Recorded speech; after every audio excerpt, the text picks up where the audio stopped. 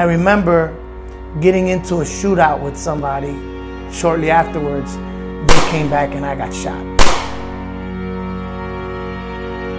My alliance was no longer with my family, but my alliance, uh, my loyalty was for the game.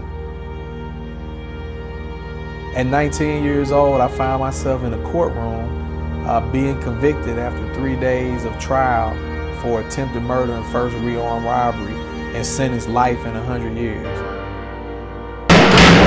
What attracted me to the gang was actually just the unity. We all had something in common. A lot of us were miserable. We had uh, no fathers in our lives. It's like a pack of dogs.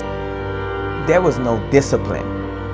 There was, there was no discipline. There was no, I mean, I respected them, but there really was no type of guidance. I wanted, I desired to have a father who, who, who, who would tell me that what I did was wrong.